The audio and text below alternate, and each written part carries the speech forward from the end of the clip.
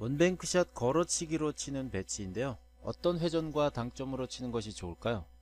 이번 배치는 초구를 득점한 후에 가끔 볼 수 있는 배치입니다. 일적구인 노란 공을 먼저 치는 비껴치기는요.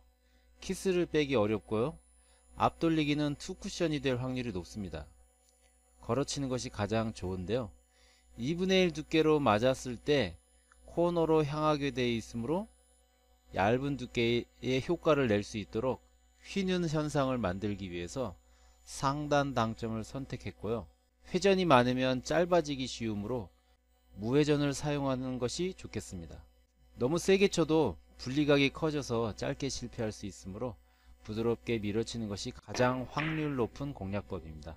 조금 어려운 배치지만 득점이 되었을 때 이적구가 따라 돌아오면서 후구 포지션까지도 기대해 볼 만한 배치이므로 득점 확률이 높은 방법으로 연습해 보세요.